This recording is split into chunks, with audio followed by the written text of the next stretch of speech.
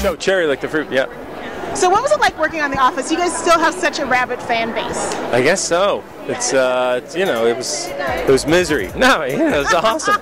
it was fantastic. You're laughing all the time, and I, I wasn't there uh, that much. Uh, compa- like I was never a guy that was there every week.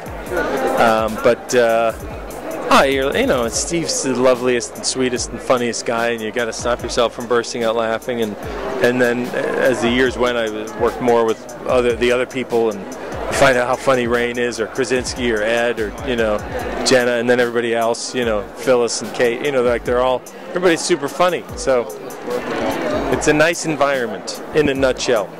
That could have been a one sentence answer. It's a it's a nice environment. That's half the battle. So what was it like working on Jurassic World? No, that was that was a blast. That was uh, you know, Colin's. Uh, he was a big Office fan, so they that's why they hired me. I think. Um, I I'm positive that's why they hired me. Uh, that's you know, I mean, it's great. You're in a big movie, and you you walk on the set, and holy smokes, Chris Pratt looks like a movie. I mean, he's like. He looks like he looks like Harrison Ford or Robert Redford. Like he look guy looks like one of these movie stars, and um, so it's a ton of fun. And Judy Greer's as sweet as they come. I'm a big fan of the show Hit the Floor, and you are on a huge story arc. I know. Have you been? It's it's it's so it's uh, funny. I didn't actually really know the show until I got, and it was. I mean, it's a ton of fun, and they're so sweet. And McKinley, he was the first guy uh, that I met. You know, every every everybody. I mean, everybody. But he was the first guy I met, and like from him on down, they couldn't have been sweeter and kinder and you know more welcoming. And they're all freaking just gorgeous. The guys, the girl, like everybody's. It is a beautiful. Look at that guy. Look at that. Look at her. So Wow. totally fit in. Wow. Cherry, if I didn't have this thing. Always flash the Mary. Oh, there you go. No, um, yeah, so that was a ton of fun. Um, yeah, it just started airing, right? Yeah. Yes, I just saw you on. I think it premiered on Monday or Tuesday, I, and am head of the league. yes, the NBA league. Commissioner, you know, Adam. Ah, what's my last name? I can't remember my last. Name. You're causing trouble. You're going to make them sell the team. Well, we'll see what happens. It's early on. We don't know what's going to happen. You know what's You happening. know, I can't tell you. James, James LaRose. He he have my head. He is the created the show and runs the show. I guess you don't do any cheerleading moves. We'll see. It's early in the season. Set your VCRs. So if everybody wants to keep up with you, are you on Facebook or the Twitter? That's there you go. That's what I call it too. The Twitter. I do. You know, I get. I did my very first tweet with Kimberly Elise on my birthday.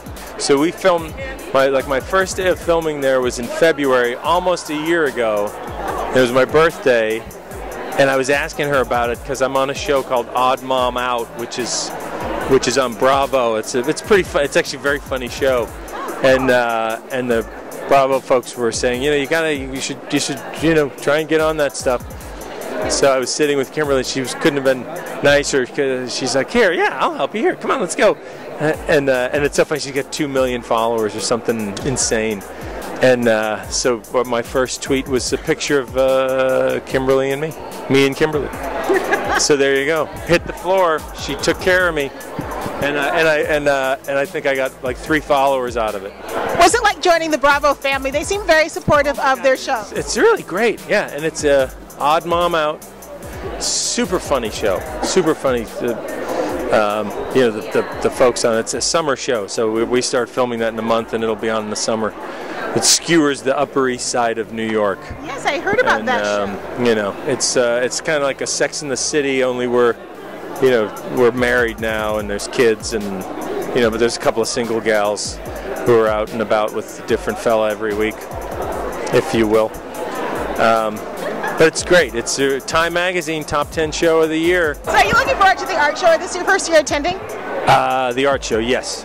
I've been coming to the St. Jude show uh, events for 25 years. I'm very, uh, very involved, and, and they're the family, the Thomas family. They're good friends of mine and good friends of my family, and my younger brother uh, is is great friends with. Uh, initially, it was he was great friends with one of the one of the grandkids, Jason, and who's playing tonight. Actually, Jason's one of the bands playing tonight Oh, that's so cool. and um, and then through that, like our all our families, you know, have gotten to know each other, and then Are you an LA native?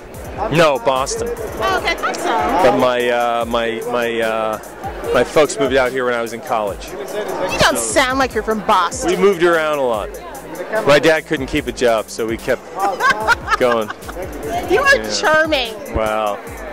Not if you talk to married, my wife. Not looking You like that. But you are very nice. Thank you so Well, much. thank you, Cherry. I look forward to the new Pleasure. of the summer show and film it. Yeah, Uh-huh. very good.